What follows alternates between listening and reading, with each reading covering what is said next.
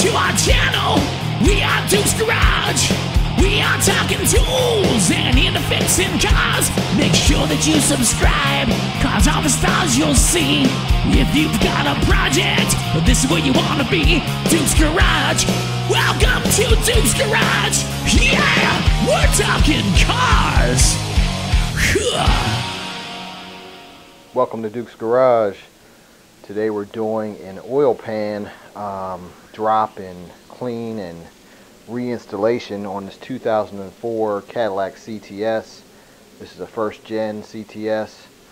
Uh, you may notice the engine is somewhat apart here. Um, I'm doing this in um, tandem with a timing chain job on this vehicle. So look for that on, on this car as well. Uh, I'll be posting that or it may already be posted at this time but check that out if you need to update or uh, repair your timing chain. I'm doing a very detailed, um, exhaustive, I guess you could say exhaustive uh, um, uh, step-by-step video on doing the timing chains on these cars. Uh, if you have any 3.6 GM uh, vehicle, um, this car, this motor was in, a, in several different GM vehicles. Um, the Buick Rendezvous, um, the CTS, um, a handful of other cars have this 3.6 in there with the two-stage uh, timing chain. But uh, as part of this job, I'm actually going to need to drop the oil pan. So we had a uh, guide that blew out. This has all been replaced now. Everything is in there complete. But we had a guy go out and this uh, liner here shot off the car and got you know kicked around in the motor. I'm pretty certain there are pieces that dropped down in the oil pan. So we're going to drop the, the pan, uh, clean it out, make sure everything is good, and then reinstall it. So let's uh, get it going. One of the first things you need to do is to fix um, fix a some type of bar, an engine brace. Um, you could also use an engine hoist. I've done this job on a different vehicle using a hoist. The issue with the hoist is that the feet on the hoist that go under the car, you know, they kind of get in the way, and you end up having to lay on top of those uh, those you know metal legs of the hoist. So one of these engine braces are great. This is a Harbor Freight job here. Um, 75 bucks. And uh, give you a little zoom in here. Pittsburgh engine support bar. $75. Um, you know, you might be able to borrow one from a friend or something, but I mean, this is a tool you may use one, two times. Um, just you know, depending on how many cars you have and how much you know you do this type of work uh, yourself, but it's not going to be a tool you're going to probably use a whole lot, but it sure is nice to have. And for seventy-five dollars, you know, it's not not the most expensive tool, and it really is handy and makes it a safe uh, a safe operation. So these chains need to be uh, bolted onto the side of the vehicle. These 3.6 cars actually have a bracket. Um, I'll put it on the screen. There's a, there's a part number for it and they'll hook onto the side of the motor on each side and there's a bolt here that you can pull out and hook it to. Um, since I have my uh, front cover off the car, I'm just using one of these front bolts that are for the cover and that should be plenty strong to hold the motor up. Uh, the back of the motor is really being supported by the transmission so it's just the front half of the motor. So um, yeah, we're in, we're in good shape here. Everything's snug down. So um, just want to make sure they're you know, they're tight and that'll allow us to now um, unbolt the uh, front motor mounts for the engine drop out that lower uh, there's a part of the subframe that can come out of the way and that gives us clearance to get the uh, oil pan out so now we'll work from the bottom side of the car and start making room the shop manual I'm using says that we need to remove this AC bracket on the AC compressor. Now I can definitely see there's one bolt uh, right down here. zoom in on it.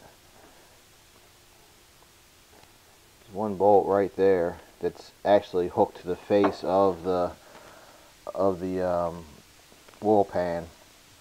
So that for sure has to come out. I'm going to just pull that one bolt and see how much problems we have removing the pan and leaving the rest of the AC bracket intact. So that's the AC bracket here. That bracket's on there. So they're saying to move that whole thing and move it to the side.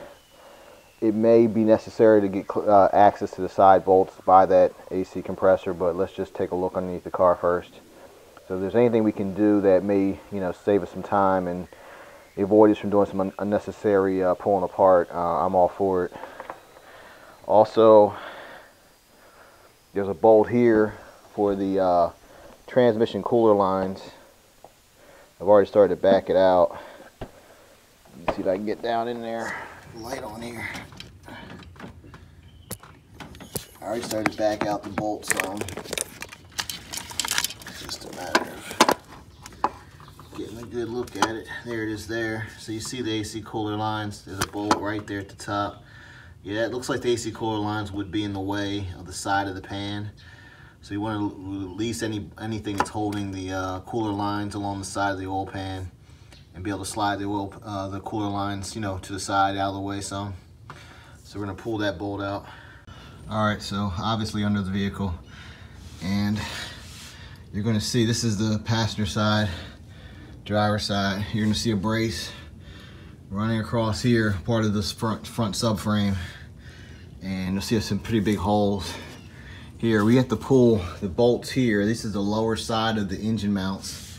The bolt that holds the engine mount from the bottom side. We're gonna pull those and that's gonna allow us to lift the motor up to make clearance to get into all these bolts around the transmission pan. So yeah, we're gonna need to lift her up and start working on these bolts. Uh, but before we do that though, I can't forget, it's time to drop the oil.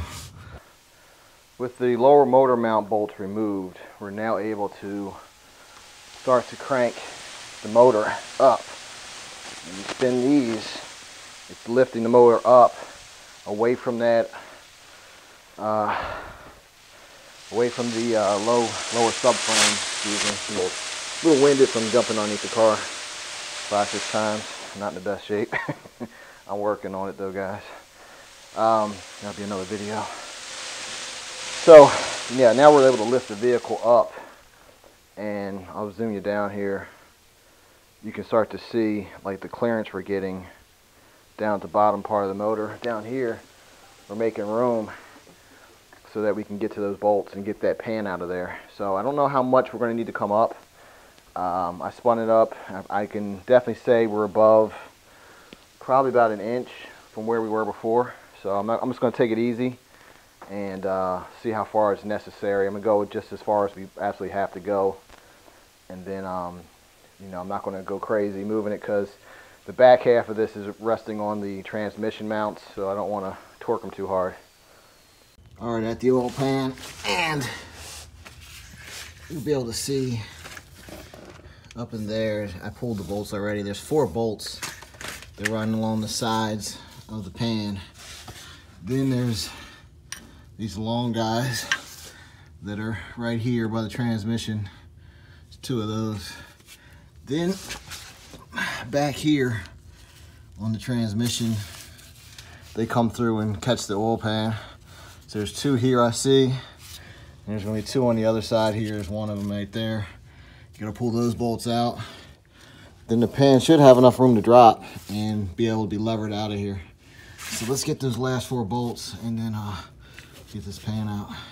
We now have the pan loose and I will tell you that loosening up the AC compressor bracket is definitely beneficial because the pan's going to start to rotate and that bracket's going to be in the way so the shop manual is correct and you'll have to pull the bolts out of the bracket and it'll just sit to the side a little bit um, you got to really be careful and make sure you get every last bolt out I'll show you the locations when I pull the pan but I actually had one I missed so that was a little frustrating. I had to find out. It was hanging up. I said, it's got to be another bolt in there. And sure enough, there was. So I got the bolt out. So now we're going to need to jack this motor up some. I'm going to show you what's going on on the bottom side. All right, so we're looking up through uh, from the driver's side. And kind of see the side of the pan there. See, it's starting to come loose. But it's bumping on the, on the front of the uh, transmission. So we're going to need to lift the motor up more, take the motor up, and that'll create more room for the the pan to lever its way out of there. So I think another couple inches should give us enough clearance to uh, have the pan fall out of there. Back around the front of the motor and uh, we're going to just rotate these and keep jacking this motor up. It's going to start to lift up more and more. So we're going to go ahead and spin both of those up evenly and create some more room. Okay, we're going to need to lower the subframe. So we don't want to pull the bolts all the way out. But we do need to lower this frame just a little bit. And there's some bolts up here. There's one there. There's one up in this hole here. And they correspond on the other side. We just want to loosen it and let it drop down about an inch or so. We have the engine hoisted as far up as we can go before we hit the uh, firewall. So plenty of room on that side, but um, not enough on the bottom side. Um, so we're going to just lower the subframe some, but in order to do that safely, we got to keep in mind our steering rack is hooked to the subframe. So we're going to need to come under here and find our steering shaft. Put a light on it here.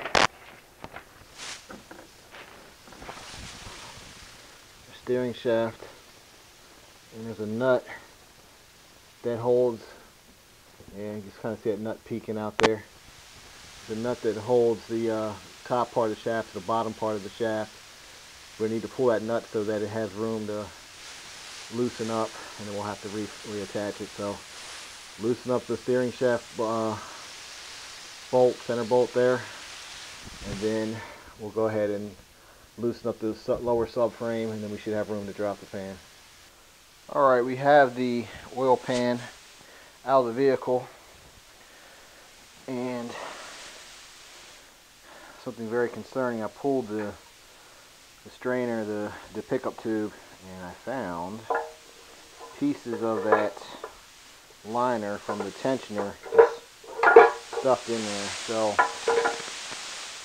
my instincts to pull the oil pan were good, plus it just looks like hell. If I could use a good cleaning. But uh, now my concern is, did the engine get starved on oil?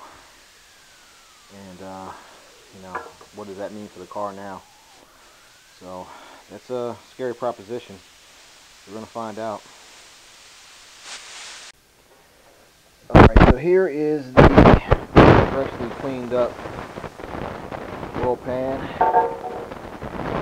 A good once over. Actually, uh, three times over. She's all cleaned up.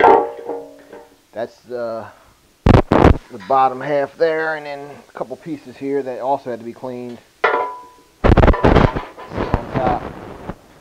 Is your pickup tube, obviously, and I cleaned up that uh, the bottom part of it there, the pickup part cleaned up the screen. So now it's time to reassemble. Pan sits right in there. Got two bolts. One here, one there. Hold that down, and then we'll put back here. Might have it backwards.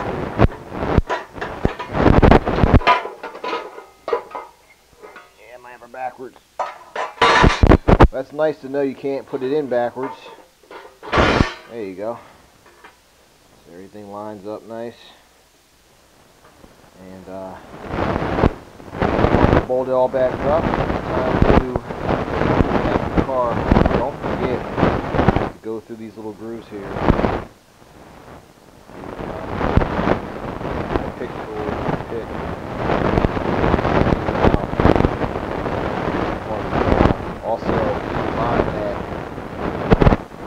side of the, of the pan that's also going to be a mating surface or a, a sealing surface. This is where the cover, the front cover, seals up to. So you want to make sure you get that good and clean too. So I say she's looking a thousand times better than way she came out of the car. So we're going to bolt it up and time to reinstall. The oil pan is all assembled and I put a bead you want to do a bead of like of a 16th to a quarter inch all the way around, a continuous bead with no breaks. And you see how I went around the bolt holes on the inner side. And um, I'm going to let it just set up a little bit, just to let it flash over. And then we're going to go ahead into the car and uh, put it in place. It's going to be a little tricky, so you don't want to bump any of the gasket maker when we go to sit it in place. We're really going to take our time. I want to lift it up into place, start a couple screws. I don't want to push it up to the mating surface just yet. I just want to start a couple screws, get the screws going around it, and then we'll go ahead and, you know, once we know we have it all lined up, push it up to the other uh, mating surface and just uh, hand tighten all of them down. And uh, I'm going to give it about an hour to uh, kind of set up and then I'll go ahead and finish torquing them down. Let me show you what we got here. I'm actually going to put this image on the screen um, so you can see it a little better. But this is the torque sequence for the oil pan. So once you have all the bolts in, just snugged, not torqued down, but snugged, it actually gives you uh, the order in which to torque at that point. And also I want to add in there that the outer ones, the M8 bolts, um, they need to be torqued down. Let me turn this around here. They need to be torqued down at 17 foot-pounds or 204 inch-pounds, depending on kind of, uh, you have an inch-pound or a foot-pound uh, torque wrench. And then the um, smaller bolts at the back where the rear main seal is at, those are M6 bolts. They have to be torqued at 89 inch-pounds. So we're going to get underneath the car. I'm going to show you what's going on here. So I'm going to apologize in advance for coming back and having the, the pan installed and not kind of showing you how I got it in there. But it's really straightforward. Uh, once you have these uh, these back bolts uh, pulled from the front um, subframe, remember keep the front ones loose but not not too far. I mean you just want to loosen them up, to drop the back ones, and then you can see here the um, steering. Like we pulled out the bolt from the uh, steering linkage that was important whenever we started to drop the uh, lower subframe down because it actually has about an inch of space between the top part of the linkage. So, you know, once you have it down, you kind of really get yourself some room here and it uh, slid right in. The biggest challenge is when you're levering it up into position, you want to try to avoid this guy, which is not too hard, but the bigger pain in the neck where these transmission coil lines, they were just, you know, really in the way a lot. Even with them disconnected from the, the bracket that holds them, they still were kind of hard to move. So, you know, do your best, but try to really keep that in mind whenever you're putting the uh, pan into place. Then, you know, you want to have at least a couple bolts handy to hold it in place with one hand and then to start some screws on the other side. Set a screw up and then, and then do the other side and then you can start to work it in. Um, so what I did is I went around the entire pan and you know, went up here and we just snugged them down, you know what I mean? We went there with the extension, snugged them down. And when I say snug, like, just put your hand on the, the top of the wrench and just, you know, really just give it like a little turn there. You don't have to go too hard. Snug them down good all the way around. Then wait an hour for this uh, for this gasket. If you use the uh, the silicone type of gasket maker, wait about an hour for it to kind of cure a little bit more. And then now we're going to follow up with uh, torquing all the um, the bolts down. And don't forget these. I got one that's still not in there. I'm going to show you these back bolts. They go in here, and you got two on this side. You got two on this side do the top bolt first and, and torque it down and then this guy has a little a little uh, um, uh, bracket that goes in, in here this gets in the way of tightening the top bolt so you want to do the top bolt first then you can pull this over and do the bottom bolt on the other side pretty much free and clear there's nothing nothing in the way these these rails I kind of had to run my ratchet through this little opening here to get to that bolt in the bottom but really you're pretty much free and clear. So it's also a good time just to kind of look under the engine and just look back through here and see if you see anything that's out of whack. Um, one problem we do have here is that this is the connection for the uh, oil pressure switch down here, or oil level switch, excuse me, the oil level switch. And um, this used to have a piece of uh, wire um, cover on it, and it totally disintegrated. You can see some of the bits and pieces that fell down to the ground. So I'm going to replace this with another piece of uh, wire loom, wire cover, just to protect these wires and uh, seal them up. So that's really about it, but um, everything is back in place. Again, I do apologize. I, I, didn't really have any way to kind of prop the camera up so you could see me as I was dropping the pan in place. But once you get to the point where you have, you know, the opening enough here to get the pan out, I mean, it's really a very straightforward process to put the pan back in. It's not, it's not a big deal. So don't know whether you watching me actually put the pan in place is really going to help that much. But um, I kind of just wanted to show you where everything was at. So I usually do my best to give you the most detailed videos I can, maybe even a little bit too detailed, um, just so you don't, you know, you have as much information as possible before you start the job. Uh, but this is one time where uh, it just was kind of hard to get a, a, a, video of me actually laying it in place and not kind of mess myself up dancing around the camera and all that. Now it's time to put the subframe back together. So we're going to need our, our bolt. And it's going to go up over here. Go into the hole. Start screwing it back together. You got to keep in mind as we screw it up into place, you want to guide this back towards the uh, upper part so it doesn't get stuck because if you screw it back in you probably won't get past here you really want to make sure you have it guiding it guiding it back into that uh, upper uh, linkage. And I'm going to tighten this thing down and then check. And once I start getting close to that upper linkage I'm going to guide it in place. I'll tell you what I'm talking about. So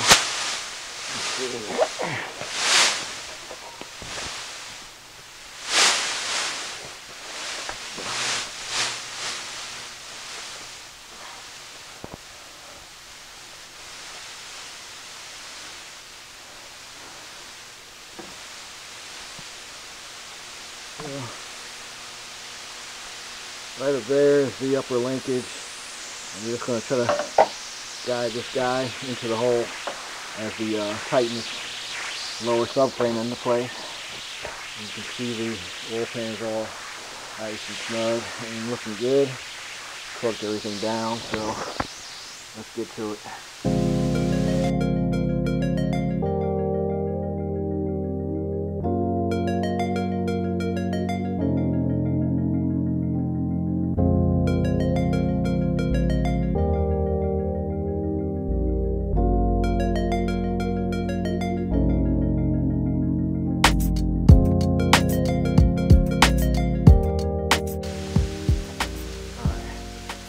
That wire all dressed up uh, for the oil level sensor. You see she's looking real good. Let me uh, try to get you in focus here. So I just put a piece of you know uh, wire cover on there, a little loom on there, and uh, a couple wire ties just to keep her in place.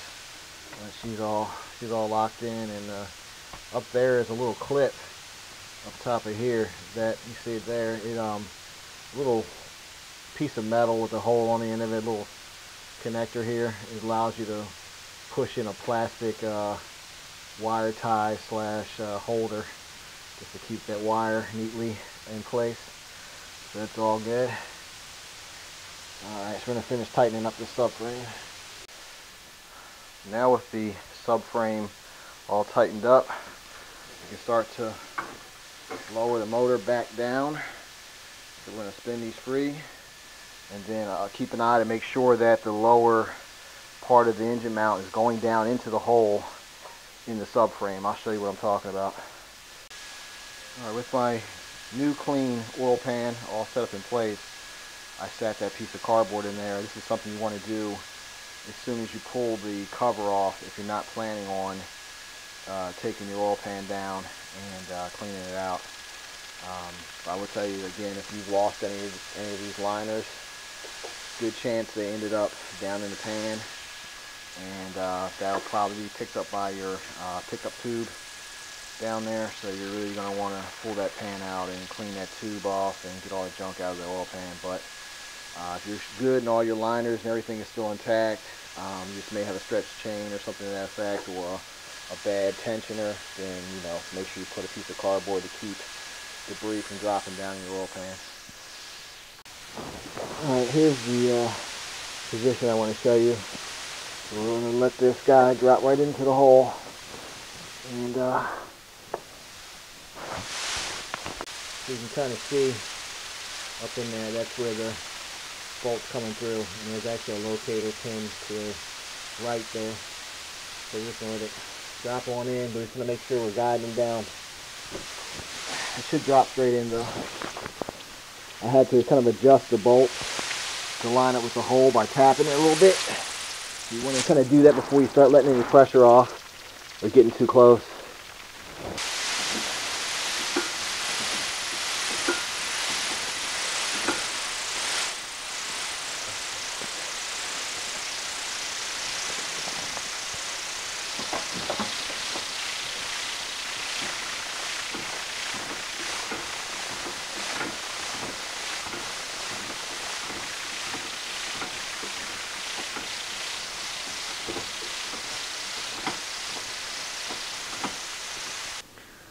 Okay, let's not forget to put our nuts back on the uh, bottom half of the of the uh, engine mount. So we're gonna go wrap in this hole, bolt these on both sides, and we should be all good. All right. Don't forget to put your oil plug back.